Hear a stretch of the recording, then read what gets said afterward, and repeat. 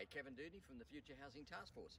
Uh, today I'd like to talk to you about something that happened about six years ago, 2014. One of our Property Rebellion students, Anthea, decided to buy this beautiful cottage behind me in a place called Coral Street in Beenleigh, surrounded by a whole bunch of units and flats and a whole bunch of stuff.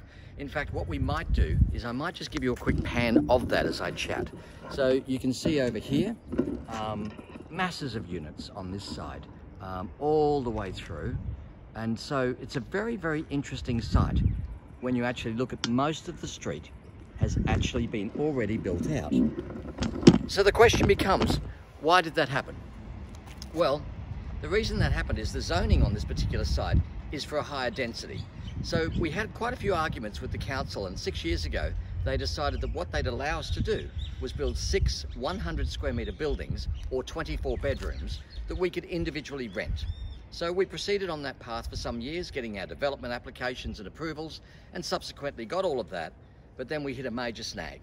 And that is when you start building things with a tenant on a tenant, it costs an enormous amount of money. It changes the building programs from a class 1A to a class 1B to a much higher level, which then takes out a whole bunch of builders who can no longer build that because they don't want to play in that market because it's so unpredictable in costs.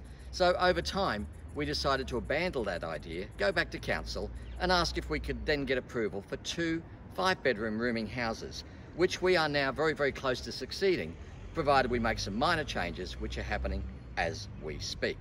So that's a six year journey to get us here today.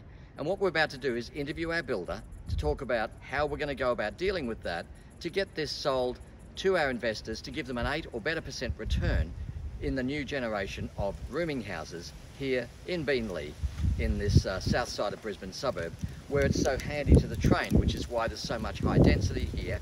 And the next session we're going to shoot it from the backyard which is where the park is. So it's a magnificent piece of real estate and we'll unfold what it costs how we're going to go about it and how the benefit will be in you to have a look at this to add it to your portfolio. So thanks for listening guys and we'll catch you on the next one. Thank you